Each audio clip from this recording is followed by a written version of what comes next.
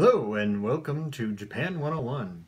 Today we're going to be beginning a new series on Japanese language and I am the senior linguisticianerist here at Japan 101 and we're going to be teaching you some practical Japanese, not things that you might hear on sites elsewhere like this is a pen or hey have you seen my dog, but practical things that you can use in your everyday life. So stay tuned.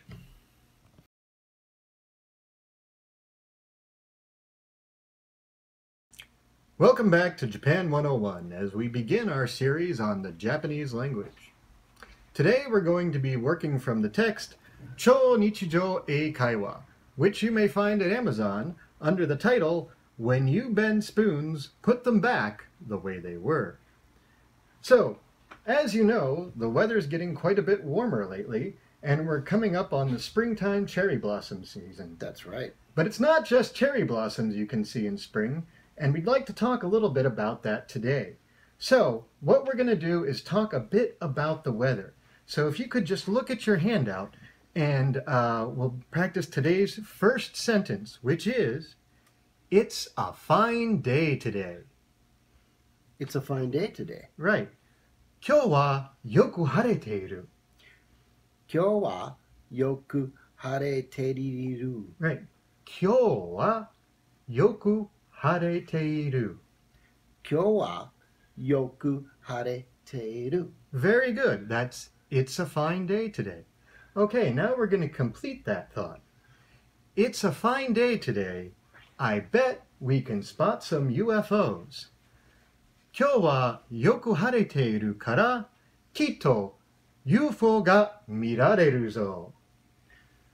今日はよく晴れているから、 きっと UFO が見れ見られるぞ。見られるぞ。 Very good. One more time for you folks at home. That's 今日はよく晴れているから、きっと UFO が見られるぞ。That is to say, it's a fine day today. I bet we can spot some UFOs. Okay, and now we're going to move on to uh, another phrase that you might find very useful in discussing, say, politics with some of your Japanese friends.